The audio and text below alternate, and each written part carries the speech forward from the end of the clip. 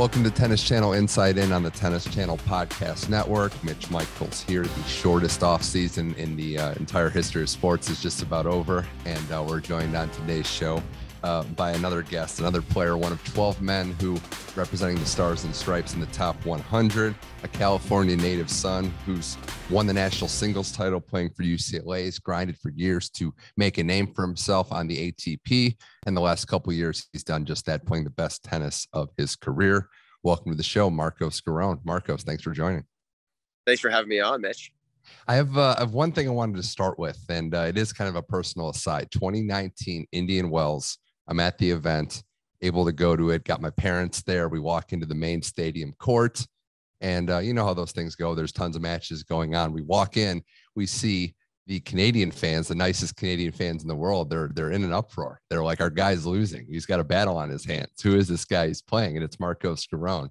Uh, you ended up unfortunately losing that match six four, but in the third. But that was the first time I'd seen you up close and personal. A lot of people didn't really know who you were, but here you were kind of captivating the crowd on the biggest uh, stages. That match in particular, it seemed like it was a uh, welcome to the tennis world, so to speak, for you. What are your memories of that match and giving a top five, former top 10 player all you can handle? Oh, yeah. Thank you. Thank you.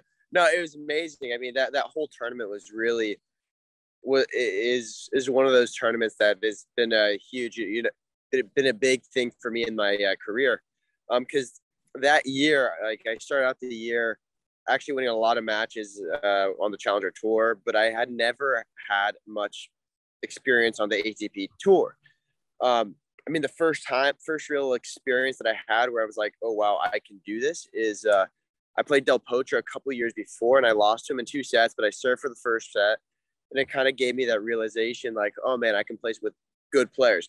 And so anyway, fast forward to 2019, I started the year winning a lot of matches on the Challenger Tour, but then didn't have anything on the ATP. Uh, on the ATP side and was able to get through the qualifying, which is a battle. I had a couple wars. I, I played Kecmanovic in a yeah. three hour epic match. I was down a set, a break, a break again, came back, and then uh, had a battle against Chardy and then beat de Minaur in a battle in three sets. But then playing Raonic, it kind of was this moment like, man, like I'm I'm you know, I'm winning matches. I'm winning matches here at this level. And uh, Raonic is an amazing player. He's awesome. But hey, like I, I have beaten a mul- multiple guys the top 50 in the world, and and just you know see if you can take advantage of it. Like uh, being in, from Southern California, I've always loved playing in California, and uh, and honestly, that that match, I, I feel like I let I, I let him off the hook. Uh, he was serving uh, one three 15 30 second serve, and I missed a backhand wide by like an inch and I at that point I had all the momentum, and so there's you know one regret from the match, and there's kind of that back and missing it. And if I could have gotten that, who knows what happened? What would have happened? But it's still that whole tournament was, what, what to me was huge to see. Hey, like I can't just play with these guys, but I can actually beat them. Yeah, it was a uh, a run for you. you mentioned Kecmanovic and qualifiers, a guy who wasn't playing many qualifiers yeah, exactly. after that. Uh, de Minaur in there. I want to take it back to kind of the beginning the the reports are you started playing tennis about six years old, roughly in that range. It seems to be a little late for a lot of players. Like a lot yeah. of players are picking up the racket a little earlier. Uh, in between that time of you being six and then the junior success, all the successes you went on to have in college. But when was the first time you remember being all in on tennis? Like I'm a committed young tennis player, and this could really be something.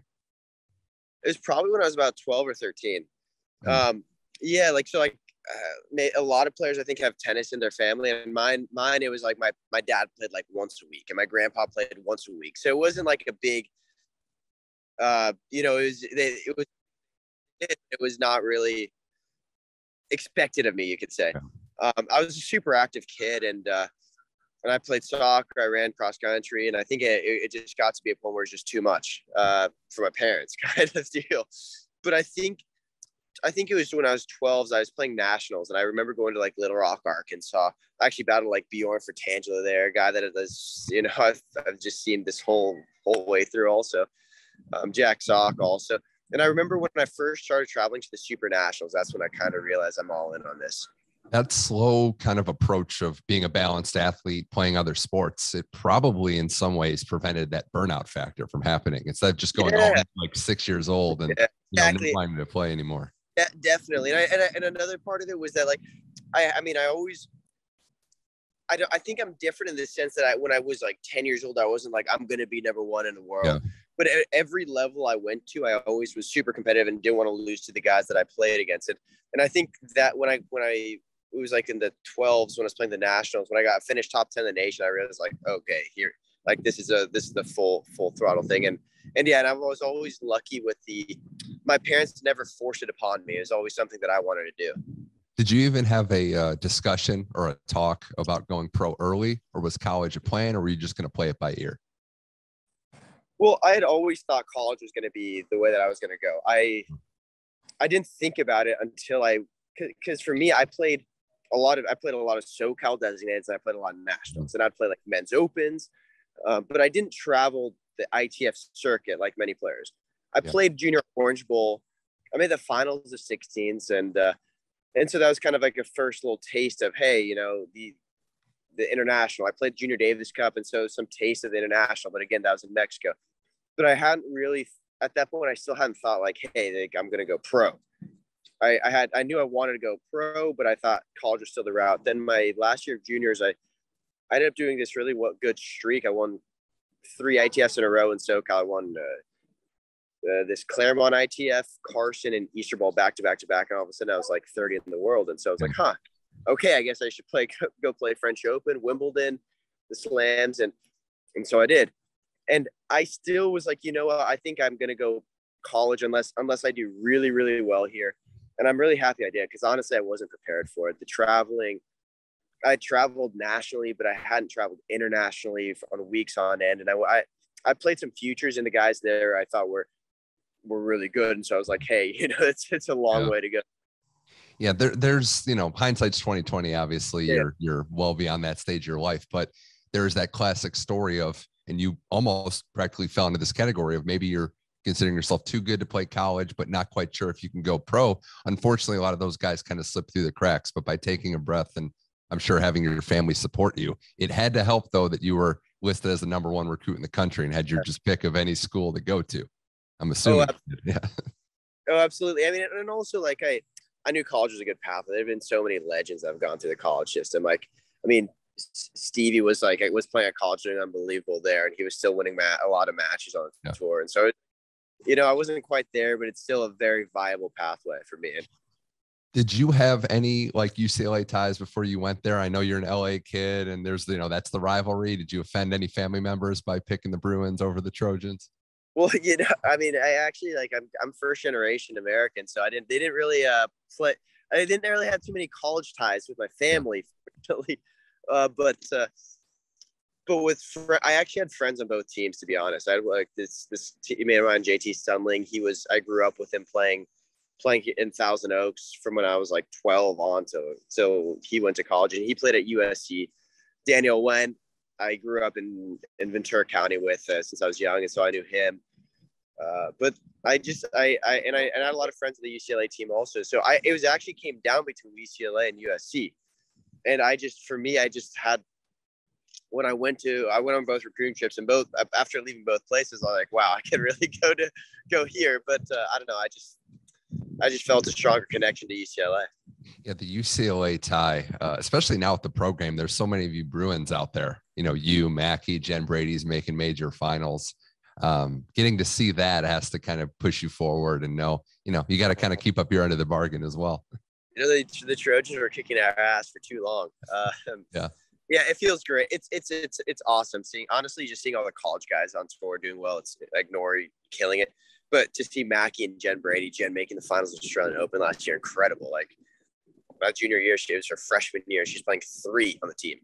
Like it's crazy. Yeah. And then Mackey, I mean, the guys, I, ever since I, have known him for a long time, and he's always been an absolute stud. But you know, so I'm not surprised he had the year he had last year. But it's it's super motivating, and I think it. I think we all build off it, and like you know, not just us, but then also all, all the other American guys. We see each other do winning, and it gives you gives gives each other confidence. Yeah, what were those practice matches uh, like with Mackey? I mean, I, they might probably were more intense than a lot of the tennis actual matches you played in college. Well, we actually played a best of five today, so that was kind of fun at UCLA for the first time. Wow. No, but it was these matches, these college matches were got intense because no one wanted to lose each other. I was a couple years older, I didn't want to lose the freshman, but I mean, man, he was good. Marcos Giron here on Tennis Channel Inside In. So you win. We'll, we'll, skip forward ahead. You win the national championship singles. You added the uh, lineage of that school with uh, another something that Mackey ended up doing as well. But you win the national title. Uh, you you conquer college tennis, so to speak, and then you get that wild card to the U.S. Open. Was that even on your mind? I know how athletes kind of lock in. Was that kind of added motivation, or did you just kind of all realize it once you claimed that title that hey, I'm playing in the U.S. Open now? No, it was it was going into the year. I kind of I was like, oh, this is like I when I went to college, I was like, you know what? Before I go pro, I got to win NCAAs. And so my first two years, like first year, I played three, four in the lineup. Junior, sophomore year was winning a lot more matches. Finished, I think, ten in the nation. And then my last year, I was going into junior year. I was like, I want to win this, and I want to get it, win it to get to the U.S. Open. And I that that's the, that was the goal. The whole year I was like, I want to win NCAAs, and uh, like, I mean, it kind of worked out. Like it was kind of a perfect storm a little bit. Also, like I, it, it honestly that that, that NCAAs was kind, is kind of bittersweet because I had not lost a single match in NCAAs for the team until my last match that we played against Oklahoma in the semis, and so that was like. Mm that one that one hurt because we had a really good team and Mackie was playing. Our, we would have played SC in the finals, and we had, you know, there were battles, there were wars. Um, but then after losing the match and after losing my match in the team event, I kind of was like, you know, we're still we're still here. Like, uh, like don't get too far too down on yourself. And I and I, I definitely was, you know, playing to win the tournament, and uh, it, it was it was amazing to do. Like I, I looking back on it, like and now playing on tour with realizing how hard it is to actually win tournaments, it's hmm. it, uh, I'm stoked that that that, that happened. What was that? What was that first experience like in Flushing Meadows? Is it just a blur? Do you have any like I can't oh. believe this is real happening? I know you ended up playing Isner, but what was that first experience? Yeah, no, no, I played Junior US Open the year before, yeah. and I actually got I was lucky. I got a wild card into, mm-hmm. or no, when I played juniors, I got a wild card into qualies of the U.S. Open. Yeah. And then I had the junior event. So I had to, I'd spent like time, I, would spent time in New York, but this was, it was different. I, I think I actually put a lot of expectation on it because I was like, okay, I'm going pro. Here we go. Go to the US Open. I want to win. And then it was amazing playing in Arthur Ashe. Like Isner's been, been the top ranked American player since Roddick, really. Uh, and to play on center court was amazing. It's, you just can't imagine how big it is when you're actually playing on playing on it. So it was it was it was amazing. It, I would have liked to have won the match, but but hey, you had a couple tie breaks out of it. Yeah, so yeah, it you, you, had a, you had a respectable showing. Uh, going into your pro career, were you prepared? We hear all the horror stories of you know what life's like in the minor leagues on the Challenger Tour. Were you prepared for that grind, ready to walk in? Was it jarring at first? What were those first you know couple of seasons like, where you're having to try to just fight to earn a living? I th- I thought I was going to be ready, but uh, I, I it took honestly it just took time to get used to traveling that much. I mean, besides the fact of like after NCAAs, I kept you know like every time I traveled, I would feel like you know I I'm not the biggest guy. I'm like 5'10", 5'11". I'm an all court player. Have to move well. And uh, when I was traveling, every time I kind of started picking up momentum, like my my my right hip would just start mm. bothering me. And so I just and so it was like it was frustrating because it was like I, I felt like I wasn't really playing my best. But then on top of that, I was going from being in SoCal, living in SoCal, playing mostly in the US. It was a huge experience. Like it was, it completely was. It, it, it took a while for me to get used to actually living life on the road, and and not just that. I mean, you're traveling to not the not the biggest cities, and uh, it's a road. It's a road. You know, you're not you're not playing for for the U.S. Open championships at that time, but it's it, I definitely it definitely took time to get adjusted to it. You had surgery, you know, 2016. Both hips actually were acting up, yeah. and that had to be hard to just step away, but also not knowing what the future was going to hold. I'm assuming that you know the rehabilitation progress, just having to show up each day. That's a mental challenge as much as physical, knowing that you're going to have to put all this time in, and there's no guarantee that you're going to be back the same way. Yeah, there's no guarantee, but for me also is a little bit of a, you know, here we are, like my the first start to my pro career had been like pretty pretty lousy to be honest and uh, i thought it was like you know what? Here's a here's kind of a means to an end. Mm-hmm. uh, uh, like yeah it's going to be a step away. It's going to suck. But as long as if it fixes fixes the issues that i have i'm okay with it. Like just it, it's going to take time. But do it once, do it right, take your time doing it, and uh, just come back stronger. And so, so I actually enjoyed the time back home, honestly, after because I was on the road for the first time. Like it was nice being home for a little while, and I, and I actually was a I was the volunteer assistant at UCLA, and so I was there with Mackey, watching Mackey just chop opponents, uh, which was a lot of fun. Um, but yeah, it, I actually was like, you know what, this is this is a good time to kind of reassess my game. What do I need to do better? What do I need to do when I come back on tour?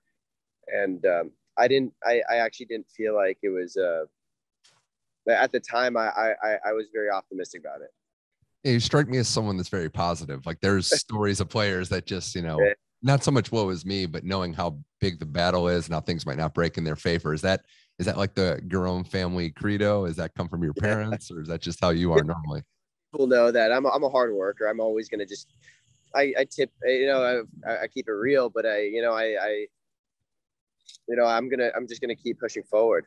Uh, and I think I think tennis honestly kind of teaches you that you're gonna lose a lot, but you gotta like you gotta build from it. Yeah, I know that's that's great advice for sure, and uh, it probably actually explains why you've been doing so well in these three set matches. I know if you realize this, but you're like top 15 and like third set, you know, deciding set outcomes in these best of three. So maybe there's something to that. yeah, yeah. Unfortunately, I put myself in this situation a little too much. Yeah. Now, I, I also just kind of wanted to know. I mean, your style play you mentioned, not the biggest guy in all court game do you think uh, tennis fans, you know, even players, you know, recreational college players, feel like they might be able to relate to you more? I mean, everybody wants to play like Novak Djokovic or, or Roger Federer, but they see someone like you out there battling, always coming to the events in shape. I feel like that might be a little more relatable. Yeah, it's true. I guess. yeah, it's true. I haven't thought about it that way, but you know, I guess yeah, absolutely. I, I just I thought of that as well because your coach, uh, Coach Evan Lee, who you've known forever and who's been working on you with a lot of different things. He mentioned how you've always been playing up and and how you know fitness is never an issue with you. And uh, I think it's just kind of a good lesson to all these athletes out there in other sports because you know we're always questioning whether an athlete is in shape or whether they're just not doing enough on their end. And it's some of the you know overlooked part of being a professional athlete is just showing up in shape and being disciplined. Yeah, absolutely. I, I mean, I, I think, I think, yeah, absolutely. It's a huge thing. If you don't, if you're not in shape, like a guy like myself, you got to check all the boxes. You have to do everything right, or else it's not going to work out. And I think, I think guys like Mackey, myself, we got to do everything really damn well, or else it's not going to work out. And I've kind of, you know, I've learned that, you know, we're not, we're not six six going to be able to serve out of a tree, but we have to do everything well, be disciplined, and do whatever we can to win. You know, and yeah. So, and uh, you know, cramping out there and getting tired and being a reason to like, I think the reason why we lost is it would be yeah. pretty unacceptable.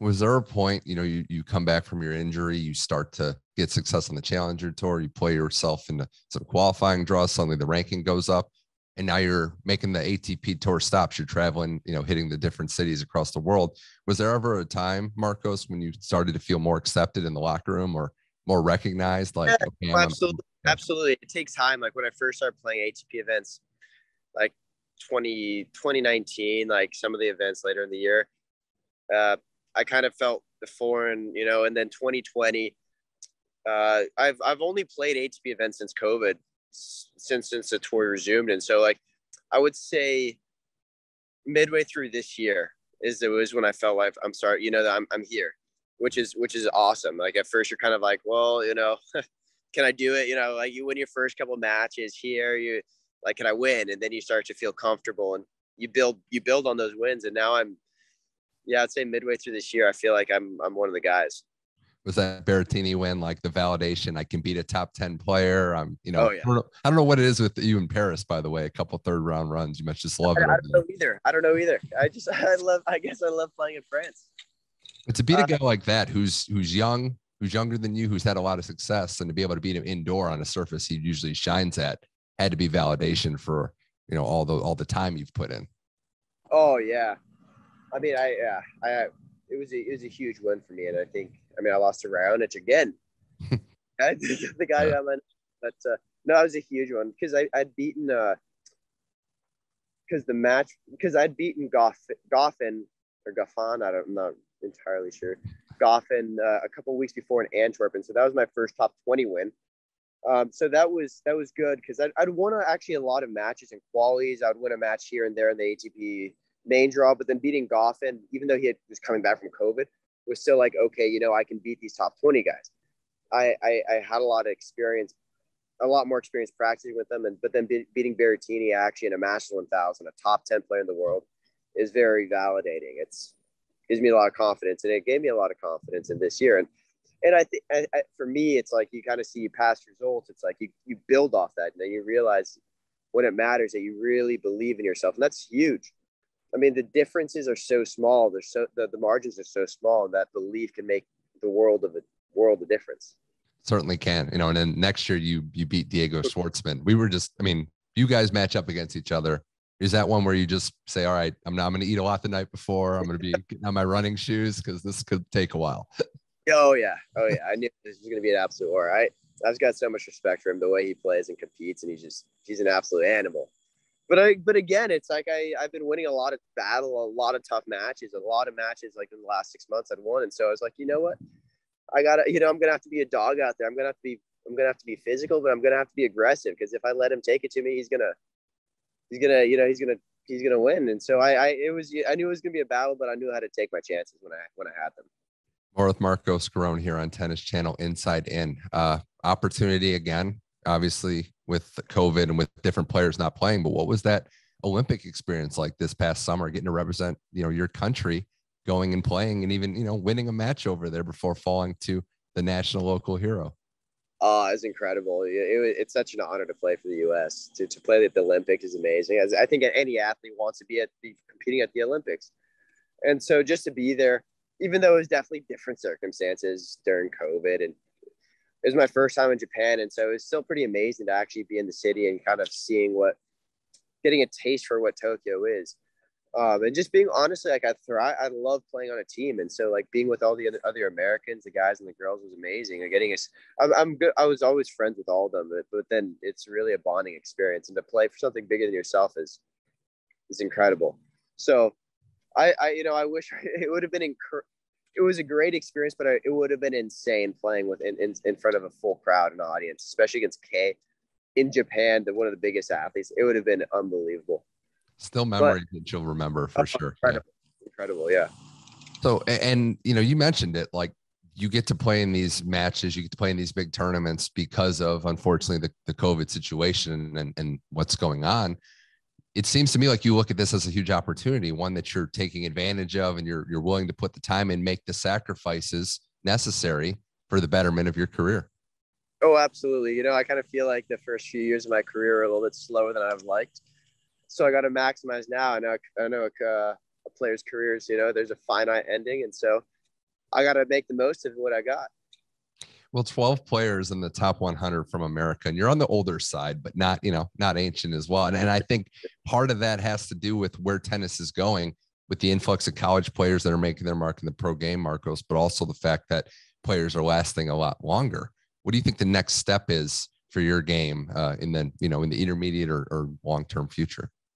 You know, I, I, I've been winning a lot of matches on the tour, but I would love to get a title and I'd love to break in the top 50 uh, I finished 66, but I think I was in the mid 50s on the race, and so I think I, I want to progress. I, I where where my I, I want to do the best that I can. I don't know what that what that number is, but I think I can realistically be.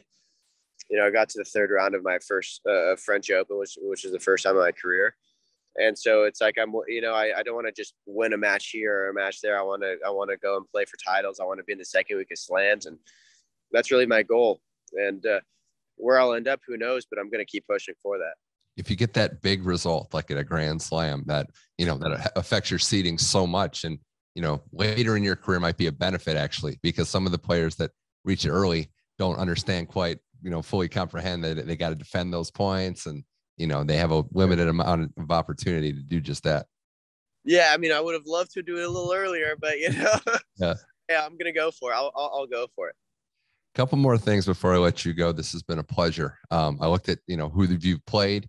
You haven't gotten any matches with the big four just yet. So I want to know who was the best player you've played against in your pro career, in your opinion? Different. Uh, each guy's different. Playing Thiem on clay was something else. He was an absolute savage. Uh, probably Del Potro though. oh, playing yeah. Cabo. That was that was that was special because that that was playing in front of a packed Mexican crowd. It was it was incredible. The guy's forehand absolutely thumps it. I mean, playing I played very early this year also at uh, first round of Australian Open. Tough, got to set off him, and I don't know. They're all they're all damn good. yeah, the younger generation, the youngest tennis fans, they don't quite, you know, understand just how good Del Potro was. Like if it wasn't for injuries, that guy would have been right there with the big four. One of my idols. I remember going to the to the US Open and I was with my friends and when I saw him play and I was like, wow, this guy's gonna win it this year, and he did. Oh yeah. Oh that was the that was the biggest heat check to use another sports reference, that match against Federer. Like I, we've still never seen anything like the forehands he hit in that match. Unbelievable. Um, I want to ask you too, what was it like to uh, get the chance? You mentioned having different idols. I know Sampras was one of them. Andre Agassi, you got the chance to spend a little time with him on the court. I saw the photo with you. Korda was out there, just being in the presence of greatness. What was that like? Oh, he, he's he's awesome. Like I'd always heard that he was a he was a fun guy, interesting, and like he looking up to him, like he's he's an incredible tennis player, and all his interviews were always fantastic. But to actually get to meet him, he's he's such a smart guy. like and he's just fun to be around. Honestly, like it's interesting. The guy definitely like even though he annihilates the ball, he's he's so he's so thoughtful about the game. He he's so much experience, and any question that you have, like he's immediately has an answer and explanation for what what to do and why do you do this why would i do this what why would i you know and and not and he, he was he was honestly i've, I've learned so much from him on like he, he's great and then also hitting with Korda, man that was I hadn't hit with Korda much. I'd played him in a challenger before, but I, when I hit with him there for that week, I was like, this kid is good. And he had a good year on show. Yeah, there, there seems to be a lot of, you know, people buying into Korda for obvious reasons, but it's great yeah. to see Andre giving back to the game and that next generation just being so down to earth uh, oh. as well. Did you have any like favorite stops on tour? You know, obviously pre COVID, it was a little different, but did you have any places that you were, you know, excited to maybe even see for the first time? Well, I mean, I uh, first time. I mean, I would love to go to Monte Carlo. That place looks incredible. I wanted to go to Japan, so I did that, but that's not quite. It wasn't quite the same experience. Yeah. yeah. Um, I always I like I like France. Honestly, I really love that. I would love to go to Switzerland sometime also. Yeah, I look. There's obviously that's the best thing about tennis. There's tournaments yeah. all these places. So you keep playing well, you're going to get that opportunity as things keep going. Uh, yeah. Last last topic, I, I, wanted to bring this up. I wanted you to set the record straight. You're LA sports through and through. Is that correct? Yes, sir. And number one on your Mount Rushmore is the Lakers. Is that your that your top team? Come on, Lakers. Come on. Okay. And where are we at right now? I, I mean, there's there's some confidence, but I don't know. I mean, you, you have the title recently, but we'll see. I don't know. we got LeBron though. LeBron's a savage. Yeah. So you came up at the right time as a Laker fan. I'm sure a lot of generations say that, but you being late 20s, your your young childhood memories was Shaq and Kobe. So hard not to be a fan. Unbelievable. Yeah. That's crazy. No. So yeah, and I'm I'm assuming, you know, you want to just add to that LA sports, you know, renaissance. The Dodgers are winning, the Lakers are winning. You can kind of piggyback sure. on top of that too. Sir. Well, Marcos, this was fun, a pleasure. Uh, thanks for joining me uh, on Tennis Channel Inside In. Best of luck with everything. And uh, yeah, I think it's good that, that people kind of hear your story, that there's not just one path to make it work. And, you know, you don't have to be the Novak Djokovic types to, uh, you know, really make a name for yourself in this game. So pleasure chatting with you and best of luck with everything going forward. Thank you. Thanks for having me on.